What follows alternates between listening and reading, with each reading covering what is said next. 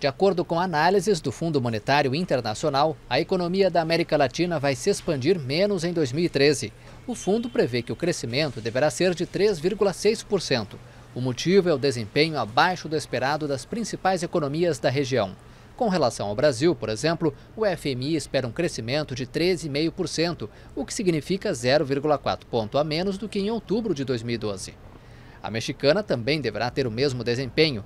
Ainda segundo o FMI, o cenário global não será positivo este ano. A crise na zona do euro não deverá deixar a economia mundial se expandir mais do que 13,5% este ano, 0,1 ponto a menos do que o previsto em outubro. Os especialistas do fundo avaliam que a eurozona vai ficar em recessão pelo segundo ano consecutivo.